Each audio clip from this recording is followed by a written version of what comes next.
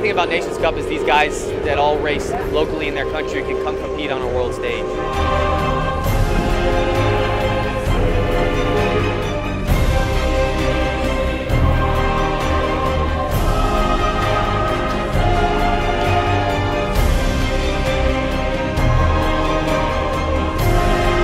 Our strategy, of course, is try to win the race. It's not about one boat winning, it's about having both boats up in the top five.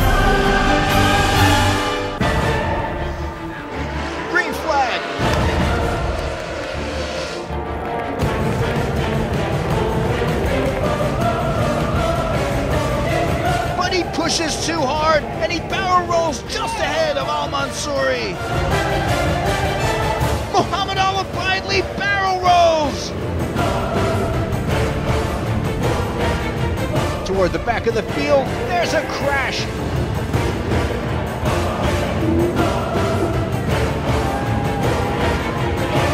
Big battle for fifth between Malaysia and Brunei. They collide.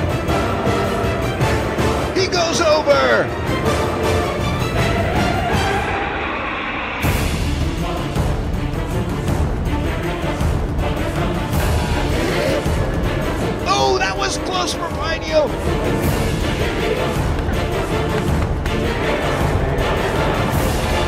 And he barrel rolls out of the race.